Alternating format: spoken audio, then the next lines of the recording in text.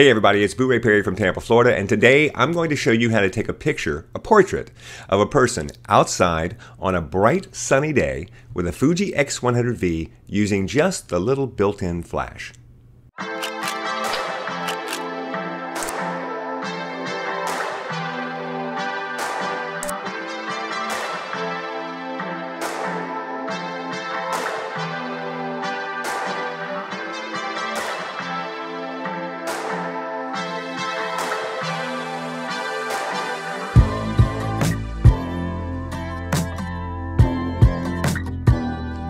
Be sure and check out my podcast. It's called Photobomb. It's available anywhere that podcasts are found, and I guarantee you will enjoy it. Also, join my group on Facebook, Pro Photo Talk with Ray Perry. It's a fantastic community and a great place for you to get answers to your questions. And of course, hit the like button and hit the subscribe button because that helps to keep this channel alive.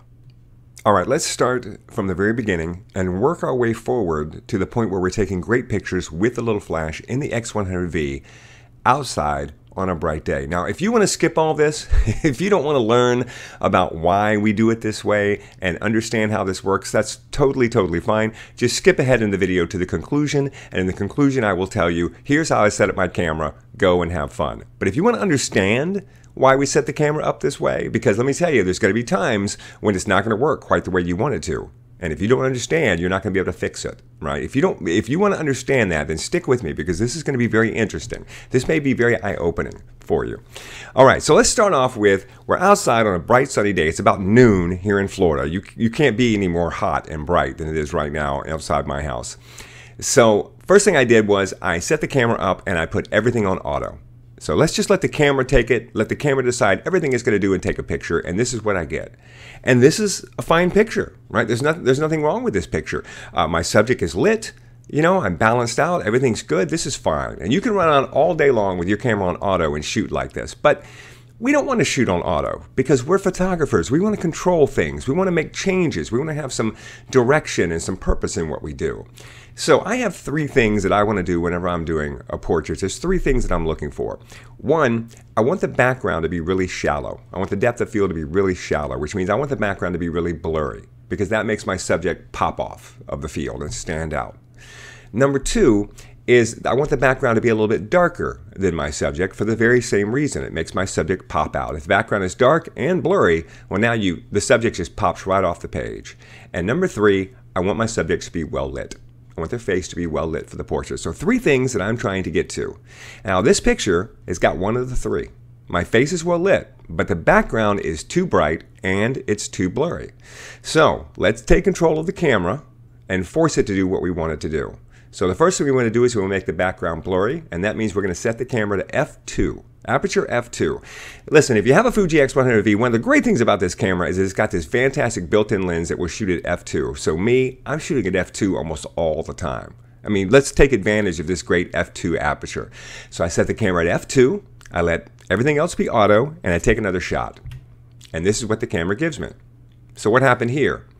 Well, f2 is wide open right? Before, I think we were at what? We were at 5.6 before. Now we're at f2. So it's wide open. It's letting tons of light into the camera. And the camera's doing everything it can to compensate for that, but it simply can't compensate for everything. So if you look down at the settings, bottom left down here, you'll see that the shutter speed is at two thousandths of a second, which is the very fast, it's the fastest shutter speed the camera can set when you're at f2. And it's got the ISO at 200. Now it could have gone down to 160, uh, but it decided to go at 200. It decided that was good enough. So, so it's going to stay at 200. Well, my background is blurry, but it's way too bright. That's not good.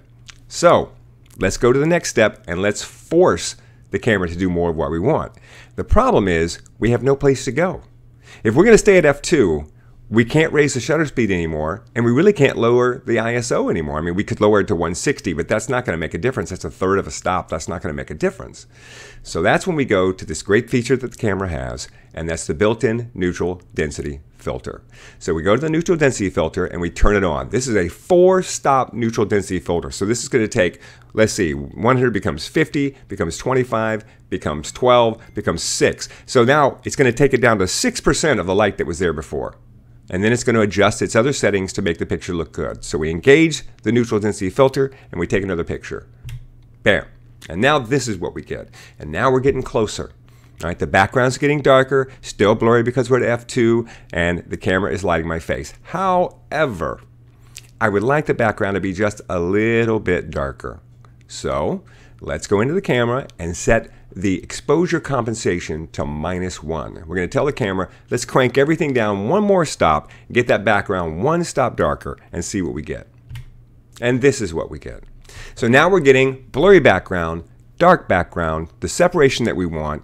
The third thing we want is the face needs to be well lit, and it's not quite well lit. It's just a little bit dark. Why is that? And this is where it's going to get tricky. So buckle up. this is where you're going to learn something that's going to blow your mind. And if you can wrap your head around it, it's going to change the whole game for you. The thing you have to understand about photography and the thing you have to understand about flash photography is that everything you set on your camera affects all the light that comes into your camera, except for shutter speed. Shutter speed does not affect flash. I'll say it again shutter speed does not affect flash for the most part. So if you take your aperture and you change it so that only half as much light is coming into the camera, it affects every light source that comes into the camera. It affects the flashlight that's coming into the camera. It affects the ambient light that's coming into the camera. But if you change your aperture and you've got, I'm sorry, but if you change your shutter speed, right, it affects the ambient light that's coming into your camera, but it does not affect the flashlight that's coming into your camera. Why is that? If you change the aperture, you change the size of the hole the opening in your camera. Every light coming into the camera is affected by the fact that the hole just got smaller. But if you change the shutter speed, how long the hole is open, that will affect light that is streaming in constantly. Because if the hole's open half as long, only half as much of that light gets in. But it will not affect light that comes in in a burst which is what happens with your flash. Your flash fires at the little, literally at the speed of light, much faster than any shutter speed. So the flash is going to get all the light in the camera. If you're at if you're at one hundredth of a second or if you're at one thousandth of a second, all that flashlight is still going to get into the camera because it travels much faster than that shutter speed does. Make sense? So changing your shutter speed can affect all your ambient light, but not affect your flash so much. And why is this important? Because we have a very small flash on the X100V. It doesn't have much power. So every time we change our aperture or we change our ISO or we put a neutral density filter in play, we are cutting down the power of that flash. It's still going to fire at full power, but it's not going to have full effect. The neutral density filter alone takes your flash and basically turns it into, into a flash that only has 6% of its power. And it's a small flash to begin with right? It goes from 100%, one, one stop is 50, the next stop is 25, the next stop is 12, the next stop is 6. So now it's 6% power. That flash is too small to fire at 6% and give you the light that you need. You need more power from the flash. So we can fix that. Look at our settings. It decided on a shutter speed of 1 one thousandth of a second and an ISO of 320. If we raise the shutter speed to 2 thousandths of a second, we will cut down the light coming into the camera. And if we raise the ISO as well, we will bring that light back. The difference is when we cut down the light coming into the camera with the shutter speed, it won't affect the flash. When we raise the ISO to bring the light back, it will affect the flash. We will effectively double the amount of power that the flash has. So we go into the camera and we have our f2 set for our aperture, and now we force our shutter speed at two thousandths of a second and see what happens. And this is what we get. The camera did exactly what I thought it would do.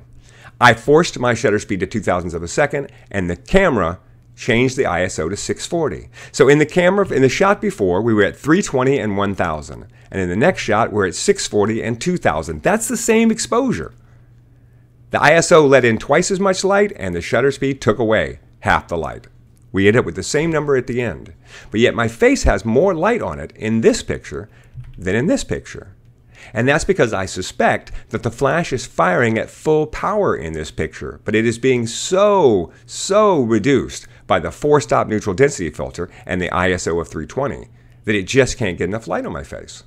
But in this one, we bring back some more of that flash power by raising the ISO to 640.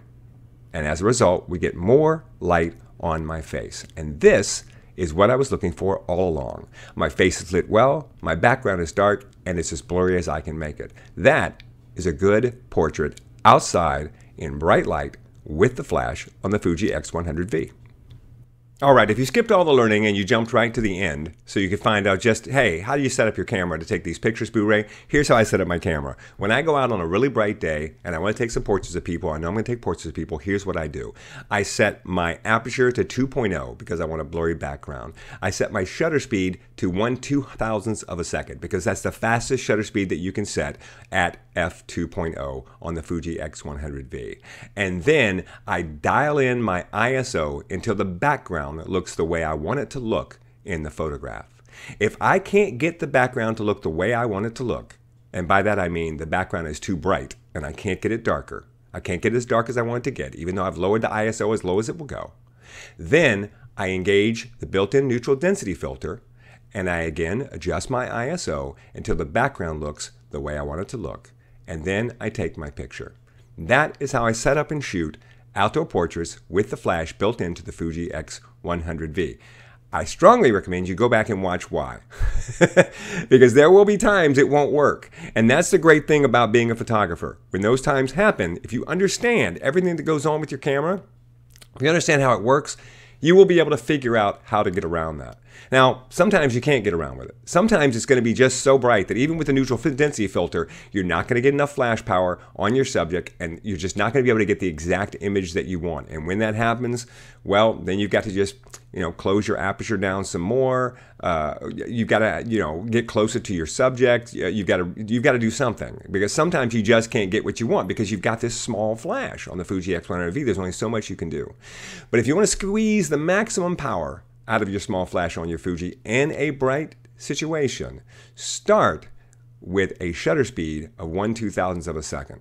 That's your starting point because that will get the maximum power out of your flash while knocking down your ambient light as much as you can with the shutter speed. All right, thanks for watching, and I'll see you next time.